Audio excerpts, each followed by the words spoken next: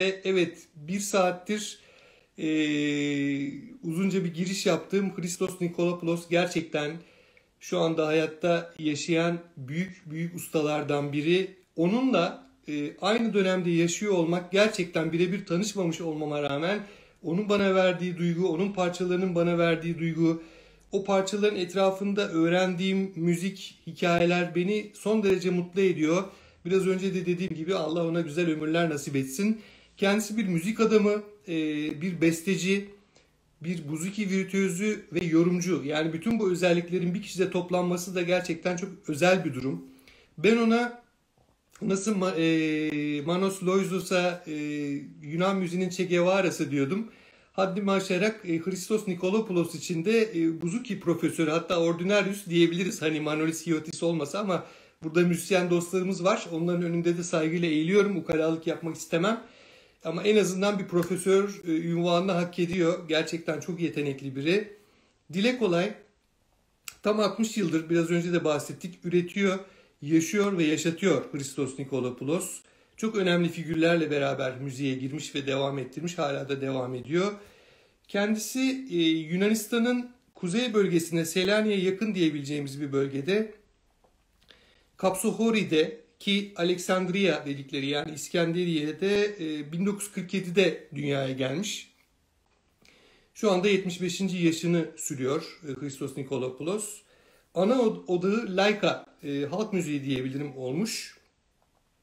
Rebetiko ile de halvet olmuş haliyle, modern Yunan müziğiyle de halvet olmuş ama üretimleri ağırlıklı olarak halk müziği diyebileceğimiz yörüngede.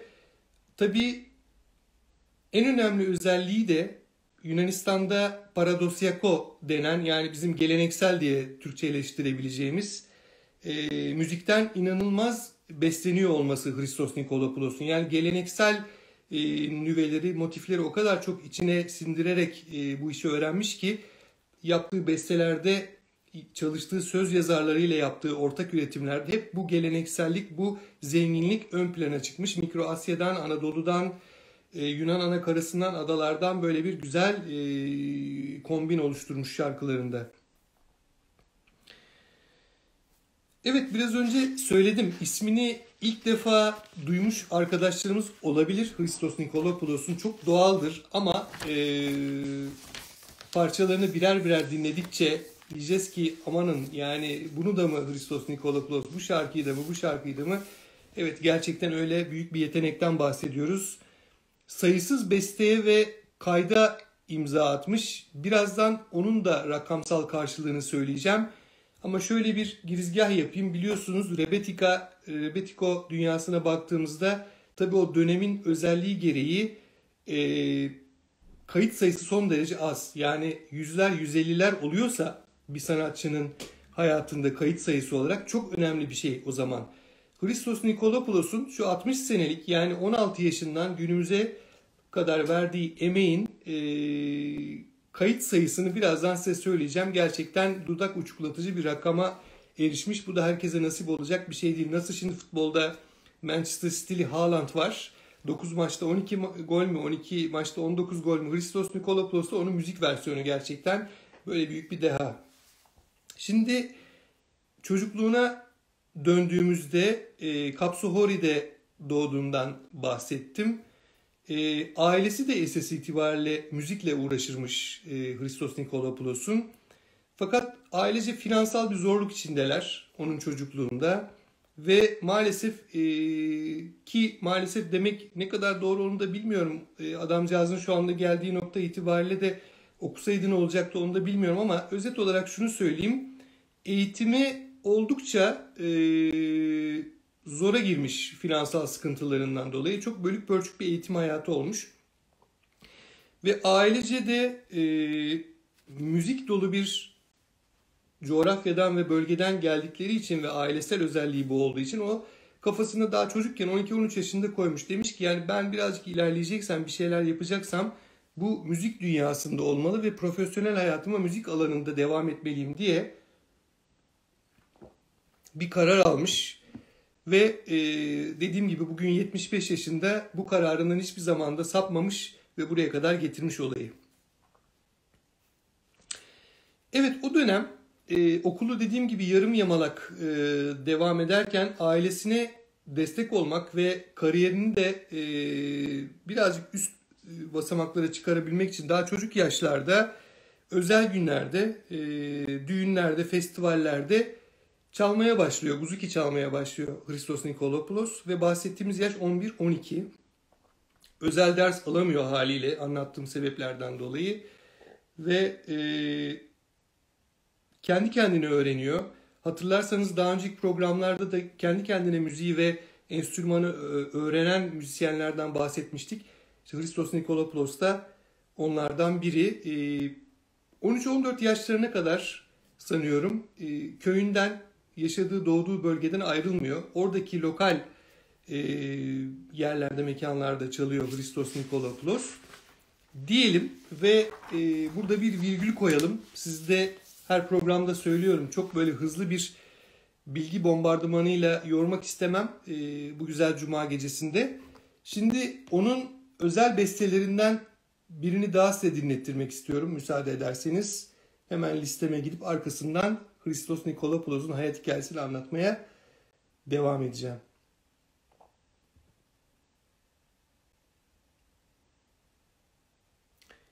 Şimdi e, tabii çok fazla ukalalık ettim. De, dedim ki şu şarkı da onun mudu dedirten bir sürü şarkısı var. Şimdi e, ünlü şarkıcı Stratos Dionisiou ki onunla da ilgili güzel bir program yapmıştık e, bir buçuk iki sene önce. Onun sesinden Selanikli isimli parçayı size çalmak istiyorum. O Saloniko, Solanikios. Bu da bir Christos Nikolopoulos bestesidir sevgili dostlar. Tadını çıkarın. Tekrardan hoş geldiniz sizi bu güzel parçayla baş başa bırakıyorum. Yani öyle bir dönem ki dostlar e, o kadar heyecan verici ki boşuna değil. Mesela dün de paylaştığım fotoğraflardan birinde vardı. Yani besteyi yapan Christos Nikolopoulos sol tarafına bakıyorsun. E, metin yazarı, söz yazarı Lefteris Papadopoulos ortada şarkıyı söyleyen Yorgo Dalaras, Stratos Dionysiou, Haris Alexiou yani bu arkadaş 60 sene içinde çalışmadığı kimse bırakmamış. Hala da çalışıyor. İşte Eleni Vitali'lerle, Glikeria ile Dalaras'la devam ediyor. Bu arada kıskandırmak gibi olacak ama e, haftaya çarşamba günü Yorgo Dalaras'ın Londra'da e, Aspasia Stratego'nun da yer alacağı Rebetiko konserine gidiyorum. E, burada olmayan sevgili dostlarım adına da izleyeceğim. Kayıt etmeye çalışacağım Londra'da o güzel konseri. Gerçekten e, İstanbul'da iki kere izleme şansı bulmuştum Dalaras'ı gitgide şarap gibi olgunlaşıyor ve e, içeriği de güzelleşiyor. Konserleri nefis bir kıvama geldi ustanın. Ümit ediyorum Allah'tan bir şey çıkmazsa çarşamba günü Dalaras'ın konserine e, bir de İngiliz e, event düzenleyicileri canlı yayın yapmama izin verirlerse oradan size canlı bir yayın göndermeyi düşünüyorum. Bakalım. Olmazsa başka bir yolunu buluruz. Evet. Kaldığım yerden devam ediyorum. 1900 63 yılına geldik. Yani Christos Nikolopoulos 16 yaşında o dönem. Babasının önerisi birazcık zorlaması ve desteğiyle baba boşuna denmiyor. Atina'ya hayallerinin peşinde koşmaya gitmiş. Bizim Fenerbahçeli Arda Güler gibi yaş 16. Ee, ki bahsettiğimiz seneler işte 2. Dünya Savaşı'nın sonu e, müzisyenlerin artık yasaklardan yavaş yavaş kurtulduğu her şeye rağmen hala var da ee, birazcık daha serpildiği, üretmeye başladığı bir dönemlerde kendisini böyle enteresan bir yerde bulmuş Atina'da. E, yeteneği tabii ki bir saattir konuşuyoruz. Allah vergisi. Bu tabii hemen hissediliyor Atina'ya gider gitmez. Atina'da ilk ziyaret ettiği yer Müzisyenlerin Kafesi isimli bir mekan. Omonya'da, Omonya meydanında bir mekan.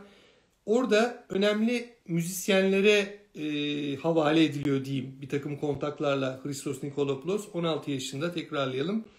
Ve bu sayede bu dostlarıyla o yaşlarda küçük plak şirketleri de olsa ufak tefek kayıtlar yapmaya başlıyor.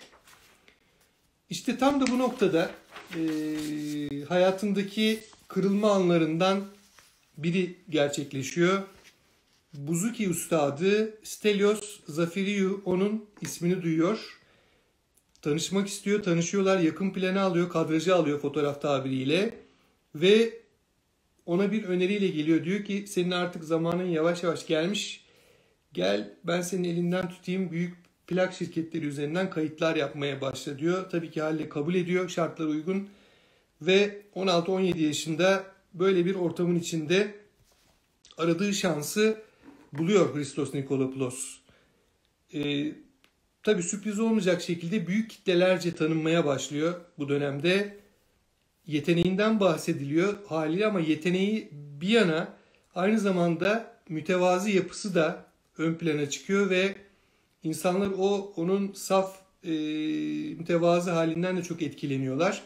Hatta şu yakın dönemde baktığınız zaman da birazdan izleyeceğimiz diğer videolarda da göreceksiniz. Tam bir profesör edasıyla, doktor edasıyla şarkıcıların yanında büyük bir e, işine saygıyla e, buzukisini çalar. Efendi bir insan gerçekten öyle yani. Ben birebir tanışmadım ama verdiği imaj o. Tanıyanlar belki başka şey düşünüyor bilmiyorum. E, çok fazla dinleyici var. O yorumları da e, almak isterim ama tevazu o dönem varsa daha sonra da devam etmiştir diye düşünüyorum. 1964'e geldiğimizde dönemin ünlü şarkıcısı böyle hatırlayacaksınız Manolis Angelopoulos vardır. Onun çalıştığı mekanda buzuki çalmaya başlıyor Christos Nikolopoulos. Hala 17 yaşında bu arada. Çok önemli e, bu kadar genç yaşta böyle büyük üstadlarla çalıyor olması. E, tabii Angelopoulos'un mekanda çalması büyük bir tecrübe. Derken bu genç sanatçının hayatında yeni bir kırılma anı gerçekleşiyor. Burada da size bir e, müzik payı bırakacağım, bir müzik dinleteceğim, virgül koyuyorum. Hikaye birazdan devam ediyoruz. Şimdi çok sevdiğim e, bestelerinden ki 80'li yılların başında birazdan yeniden bahsedeceğim. O 10 yılın 80'lerin en iyi zeybeği olarak kabul edilen İdalikes isimli parça gelecek Yorgos Saris yorumuyla. Bu parçayı e, sevgili Morris Carmona kardeşime hediye etmek istiyorum kabul ederse. Kamyonlar diyor, farları uykulu ve ağır kamyonlar, Atina'da dolaşan kamyonlar. Burada sanıyorum emekçileri e, kastederek onların yaşadığı zorluklarla ilgili sözleri var. Çok derin incelemedim ama öyle anladım. E, müthiş bir parça. Keyifle dinleyeceğinizi umuyorum. Tekrardan hoş geldiniz. Güzel bir gece diliyorum hepinize. Biraz önce söylediğim gibi e, güzel bir katılım var. E, ben de konuya hızlı girdim heyecanımdan dolayı. Herkesle merhabalaşamadım. Sevgili dostlarım iyi dileklerinizi görüyorum. İyi yayınlar dileklerinizi, taziyelerinize, her şey için çok teşekkür ederim. İyi ki buradasınız. Keyifli bir akşam diliyorum hepinize. E, beni affedin birer birer isimlerle hitap edemediğim için ama hepinizle biliyorsunuz kalplerimiz bir. Tekrardan hoş geldiniz. Sağ olun, var olun. Uzun zamandır görmediğim dostlar da burada. Mutluluğum kat be kat arttı. O yüzden hepinize tekrardan hoş geldiniz diyorum. Harikasınız. Evet, e, sevgili Emek Ege'nin programında da dediği gibi e, kırılma anları e, Christos Nikolopoulos'un hayatında bir hayli fazla. O kırılma anlarından biri de e, 1965 yılında e, Christos Nikolopoulos'un çok değerli yorumcu Stelios Kazancıidis ile tanışmasıdır. E, 1965 yılında ki o dönem şöyle Stelios Kazancıidis e, çok erken sahnelere veda etti belli sebeplerden dolayı. 1965 ve 1966 yılları e, Stelios Kazancıidis'in son kez sahne aldığı yıllardır ve bu iki seneye Christos Nikolopoulos yetişmiş olmuş ve e, Stelios Kazancıidis ile beraber çalmış. Bu da çok çok büyük bir hayatında dönüm noktası. Gerçekten de vefat ettiği yıllara kadar bir daha sahne almıyor Stelios Kazancıidis. Ee, yani birkaç tane küçük okazyon, e, festival veya şunun bunun ama böyle düzenli konser hiçbir zaman vermiyor. Biz yine dönelim o yıllara. Ee, birlikte yani Christos Nikolopoulos ve Stelios Kazancıidis Amerika Birleşik Devletleri başta olmak üzere Avrupa'nın çeşitli ülkeleri Almanya ağırlıklı olmak üzere ve Yunanistan genelinde birlikte konserler veriyorlar. Bu da Christos Nikolopoulos için müthiş bir tecrübe oluyor. Yani beynelmilel tecrübe de edinmiş oluyor bu vesileyle. Ee, burada ilginç bir nokta daha var. o dönemde çok fazla gördüğümüz konulardan biri Nikolopoulos ve Kazantzidis çok iyi, çok iyi, çok uyumlu bir ilişki kurmuşlar. Fakat ilişkinin sonuna doğru yani Kazantzidis'in sahneleri bırakmasına yakın e, aralarında bir takım ihtilaflar olmuş. Sebebi de e, söyledikleri, icra ettikleri parçaların eser hakları ile ilgili. Sanıyorum Christos Nikolopoulos bir takım şeyler önermiş, yazıp çizmiş. O dönem onlar e, onun olarak addedilmemiş anladığım kadarıyla. Bu daha önce Vasilis Çiçanis ve e, Ioanna Yorga da olmuş e, benzer şeyler. Zaten hani e, biliyoruz 30'lu yıllarda da bu böyle Anadolu kökenli parçaları sahiplenmiş besteciler var falan filan. Dolayısıyla bu konuda biraz bir anlaşmazlıkları olmuş ama genel olarak o iki sene son derece uyumlu e, geçirmiş iki müzisyen. Tabii kazancı sahneyi bırakma kararı alınca bu çok ciddi bir karar. Ee, Christos Nikolopoulos kariyerine bağımsız bireysel olarak devam etmeye karar veriyor. Bu da çok önemli bir süreç e, hayatında. Özgür olmayı istemiş. Belli ki o, o dönem yani biraz önce bahsettiğim isimlerle o isimlerle olmak ona kendi güvenini getirmiş gibi görünüyor. Ve burada önemli olan şey gerçekten belli bir müzik eğitimi almadan kendi kendini yetiştiriyor olması alaylı, alaylı plus diyelim. Ee, öyle bir ayrıcalığı var. Tabi bizim ana konumuzla ilgili olan parantezi de söyleyeyim. Dönemin önemli rebetleriyle tanışıyor bu sıralarda. Yani Vasilis Çiçernis, e, Papa Ioannou, Marcos Van Vakaris bunların hepsiyle tanışmış daha niceleri var. İşte bahsettiğimiz gibi 60 senenin içinde bunlar da var. Onlardan oldukça besleniyor. E, bestelerine müthiş katkıda bulunuyor bu insanlarla birlikte olması diyelim. Bir güzel virgül daha koyalım. Gelelim bir sonraki parçaya. Şimdi bu parça birazdan anlatmaya devam edeceğim. 1968 yılında yazdığı ilk parça, ilk defa kaydettiği parça. Ee, yaşı o zaman daha 21. Parçanın adı Nihterides ki Arachnes yani e, Yarasalar ve e, Örümcekler isimli bir parça. Çok sempatik ismi değil ama parçanın sözleri romantik. E, diyor ki sen gittiğinden beri evde örümcekler ağ yapmaya başladı. Yarasalar geldi. Onlar evi kuşattılar. Bana onlar destek oluyorlar senin yokluğunda. Onlar bana yoldaş oluyorlar diyor. Parçanın sözleri böyle. Nihteri ki Arahnes bir Christos Nikolopoulos bestesi daha ve Lakis Alkias söyleyecek. Sizi bu güzel parçayla bu özel parçayla ilk parçası dediğim gibi baş başa bırakıyorum. Anlatmaya devam edeceğim. Evet zaten hemen hemen her yayında 1960'lara olan hayranlığımı hep söylerim. Yani o dönemin duyguları belli sebeplerden dolayı hep aynı şeyi söyleyip sizi sıkmayayım ama bunları daha önceki programlarda konuştuk.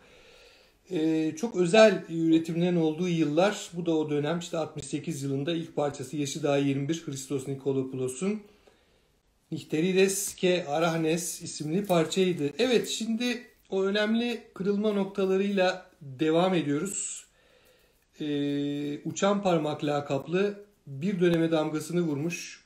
Adeta e, Yunan müziğinde devrim yapmış.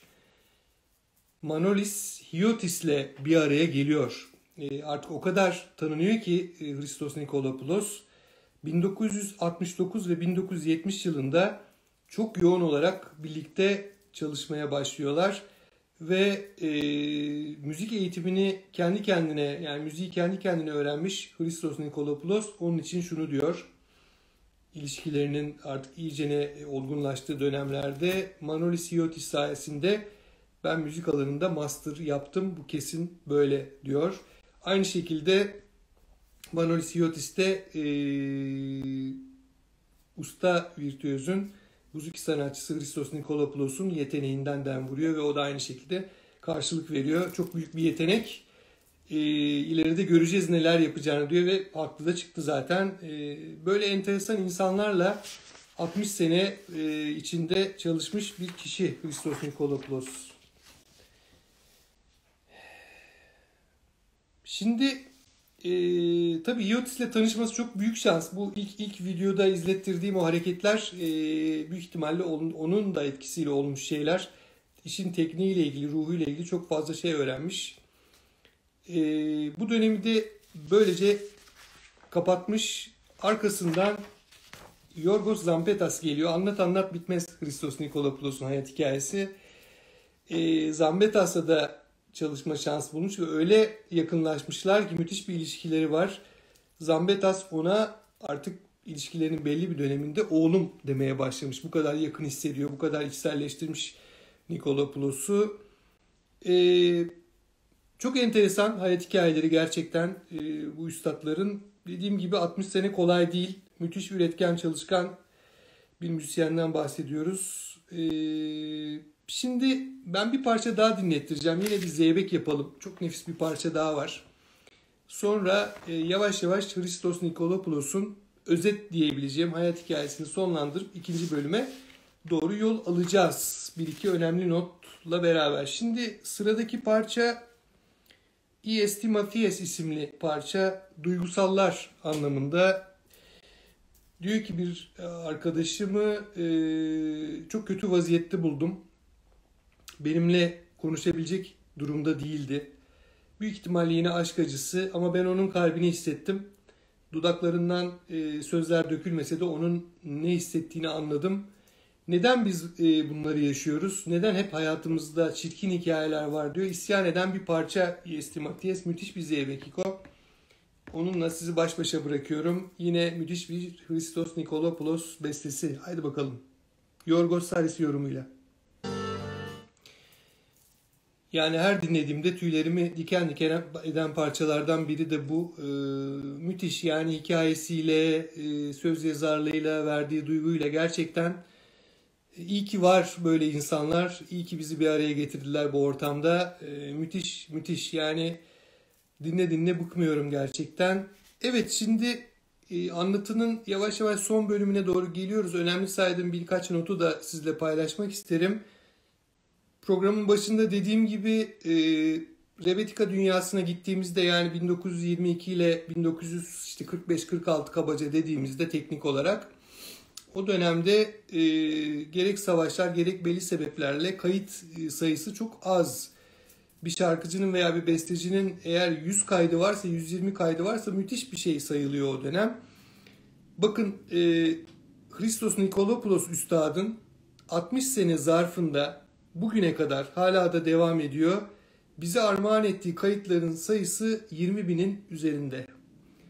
Doğru duydunuz 20 bin yani e, şimdi tabii ki bir pop müzik bir dünya genelindeki müzik janrlarından bahsedersek ayrı konu ama bahsettiğimiz aralıkta bu konsepte çok ciddi bir rakamdan bahsediyoruz. 20 bin kayıt ve ileriki kuşaklara aktarılması bakımından bu duygunun ki Yunanistan'da e, bunu kıskanarak hep söylediğimi daha önce programlarda bahsettim. Çekirdekten müzisyenler çekirdekten bu duyguyu alarak yürümeye devam ediyorlar. Güzel örnekler bizim ülkemizde de var. Ne mutlu son dönemde bunu da görüyorum. Ümit hocamız buradaysa ona da selam etmek isterim. O bunların e, bir tanesi o değerli Ümit hocam. E, öğrencilerine bu kültürü hem Anadolu hem Yunan anakarasının ortak özelliklerini anlatmaya e, devam ediyor. Büyük mutluluk duyuyorum böyle gelişmelerden.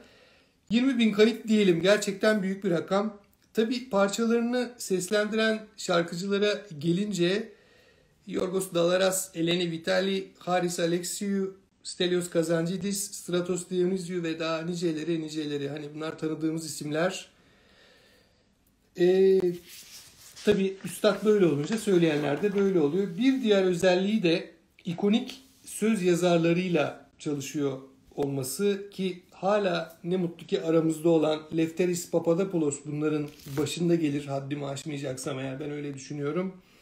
Onunla çalışmış, Manos Eleftheriou ile çalışmış, Manolis Rasuli ile 80'lerin başında ki biraz önce dinlediğimiz İdalikes isimli parçayı beraber e, kurgulamışlar e, kendisine güzel, üretken, müzik dolu nice güzel ömürler diliyorum Christos Nikolapoulos'a. Bu geceye bize konuk olduğu için ona ayrıca teşekkür ediyorum. Bir şekilde o bizi duyuyordur diye ümit ediyorum.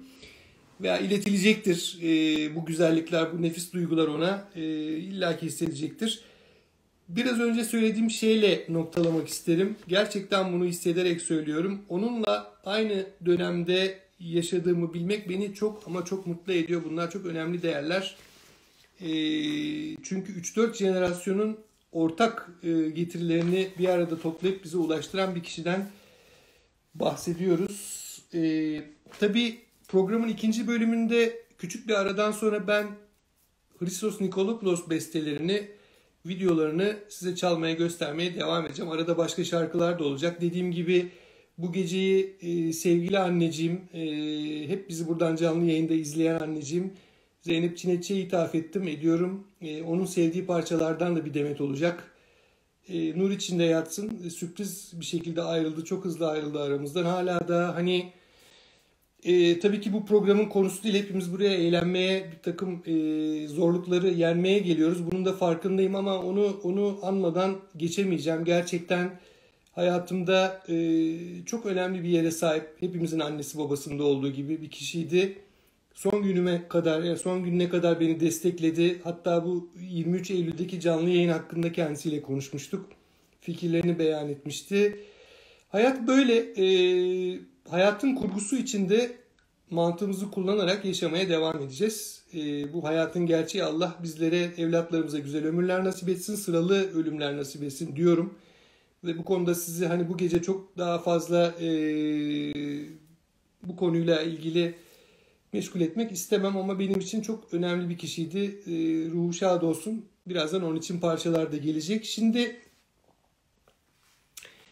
Hristos Nikolopoulos'un yine çok severek bildiğimiz, dinlediğimiz bir parçasını çalacağım ben size. Me Skotose Yatitin Agapusa isimli parça. Ee, yanlış hatırlamıyorsam Stelios Dionysiou da bu parçayı çok güzel söylüyordu. Bu akşam onu Manos Papadakis'in sesinden dinleyeceğiz. Ee, Agagine dertli diyor ki o beni öldürdü. Öldürme sebebi de benim onu çok sevmem diyor. Çok güzel bir parça. Ee, bu ilk bölümü tamamlamadan bu parçayı da sizle paylaşmak istedim. Ve size o parçayla baş başa bırakıyorum efendim.